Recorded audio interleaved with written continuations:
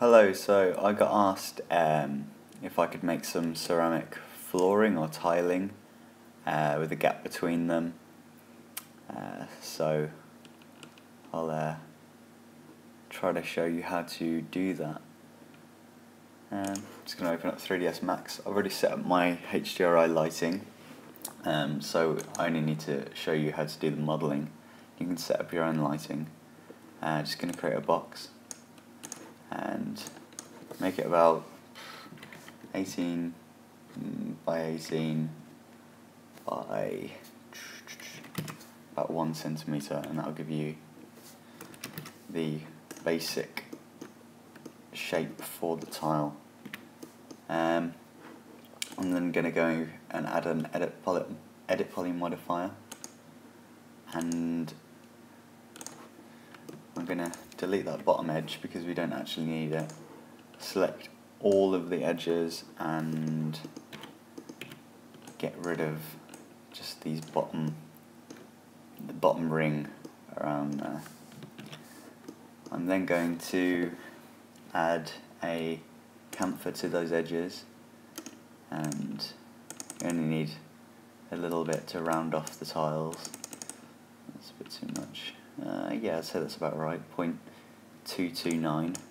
Um, I'm just going to add five segments to that as well uh, to make it a rounded edge. And then add a smooth modifier and tick the auto smooth. So when we look at it, it'll be a nice smooth edge. Um, I'm then going to go into the top viewport, zoom in on this a bit, and shift drag in the Y direction, just leave a small gap, and then I'm going to copy that, and I'll just do 20 times, and I'm going to do it as an instance, so if I do want to edit the shape of this all, I only have to edit one, and it will change every single other one in the scene. I'm going to press Ctrl A to select all, and uh, drag them across in the X direction the same amount and make another 20 copies. Um, so that gives you your basic tiled effect. Um, I'm then going to create a plane that goes around and this will act as the the sort of grouting between them and I'm just going to go into the left viewport and pull that up so it's almost to the top uh, just so we'll be able to see it. Um, as for the textures, I'm going to press M which opens up my slate material editor. As you'll see I've got my uh, V-Ray HDRI set up there um, that's connected to a dome light and the uh, environment map just to uh, give some nice reflections on these tiles. And I'm just going to control A to select all of the scene and just get rid of that bottom plane.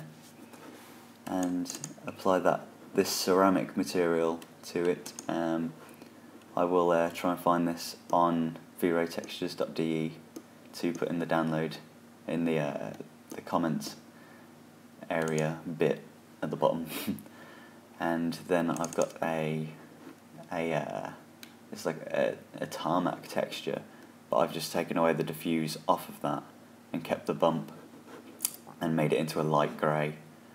And I'm just going to apply that selection as well.